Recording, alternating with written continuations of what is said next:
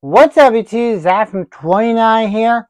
And today I want you guys talk to you about um the Sonic and Sonic and Shadow the remake master version of is coming in this autumn. You know some of that. So if you guys enjoy this videos, guys, this channel, follow me, Pinterest, something like that, and then go to it. So basically, guys, I think it's coming out to the Nintendo Switch.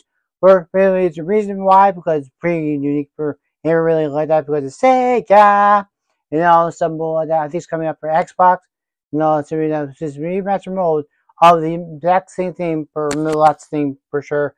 And you know, they're also they're also going to be back to the green, the, the classic Sonic when they're doing one. It's pretty great for all the stuff like that. For one thing that comes out, you might know it's very great for sure, and all the stuff like that. Now the Sonic game is really great and all the stuff like that. Just challenging all the stuff with the one, even though we have guys know we're having a Sonic movie the, at the um at the end of the, this year of December 2024. It was a great for opportunity like that for one thing to say, even though you know, no. even though I saw I saw this on YouTube Shorts a couple months back from from Andre Black and Kami, you know, so hey Andre, what's your game? Know, so my opinion for this one, I believe it's going to come on either like September, October, or maybe it's it November? If it's coming out during Tom New York City Comic Con week, you know, something like that.